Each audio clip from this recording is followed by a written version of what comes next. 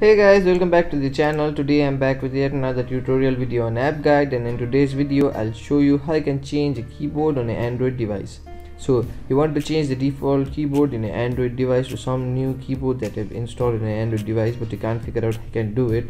Watch this video till the end. I'll show you some simple steps in order to change the default keyboard in an Android device in a very easy way. It's a very simple process. Just follow the simple steps I do and you'll do it in no time so the first thing you want to do in order to change the default keyboard on an android device is open the android device settings. Once you go into your phone settings you land on an interface like this. Now from here what you want to do is go into your system settings. Once you go into system settings you'll see a list of options. From this option what you want to do is go into language and input settings.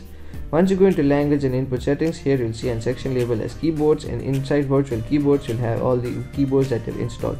So what you have to do is simply open the virtual keyboard settings once you tap on the virtual keyboard settings here you'll see all the activated virtual keyboards that are installed in the Android device.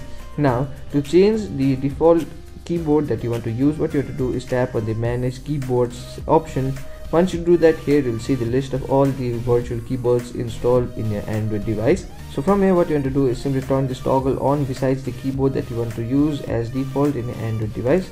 Once you do that you'll see a pop-up window like this. And once you what you want to do is simply tap on the ok button once you do that what you want to do is disable the keyboard that you have previously used so that new keyboard that you have activated will be changed into the default keyboard.